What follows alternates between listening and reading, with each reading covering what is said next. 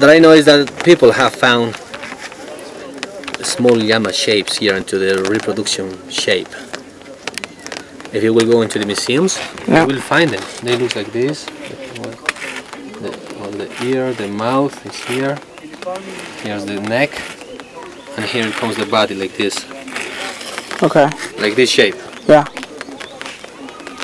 Many of them were found right on there. Uh, like you mean on stones? Exactly. Okay. Made on the stones. Okay, small stones. too. A ceramic. Okay.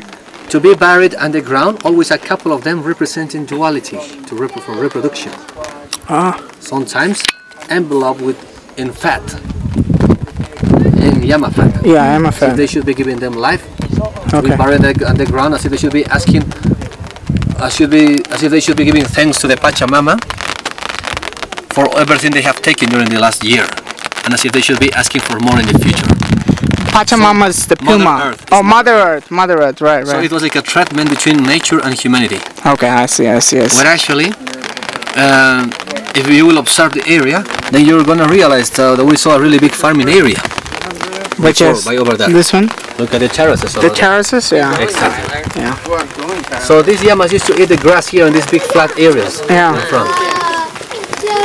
But this place down here, it was more simple. Okay. It was a corral. Corral. Oh. Oh. I see. Oh. Just for all the llamas. Exactly. Okay. As simple as that. Okay. And now I look see. at the Go look at the look at the entrance over there. Just one intake and to get out too. Yeah. Just one entrance. Yeah. It was a corral. It also it was a corral. Okay. What? What's What's here on the other side? I Like mean, a I- hole. Yeah. For what? Yeah, they were found some uh, offerings right in there. Okay. Nobody knows exactly the real purpose.